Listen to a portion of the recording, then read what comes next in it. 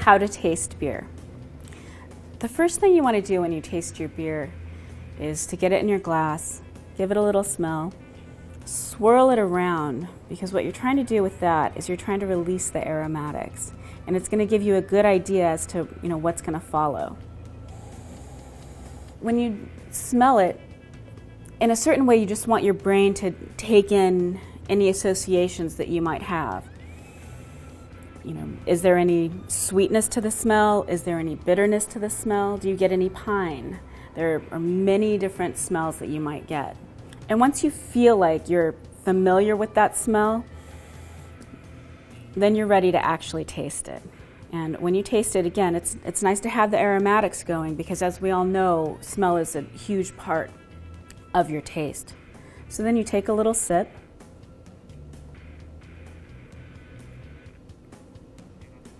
And you let it linger in your mouth.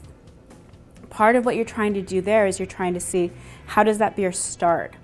Is there a beginning, middle, and an end to the beer? And you'll be surprised that many beers do have this. You'll notice maybe a floral beginning and then, you know, kind of a, a wide round middle where there's just a ton of malty flavor that, you know, is really delicious. And then in the end, you know, maybe you'll get some, some dryness from the hops and it'll, you know, sort of clean your palate right up, which is sort of the perfect way to end a beer because once your palate gets dried and cleaned, the thing that you want to do right after that is take another sip.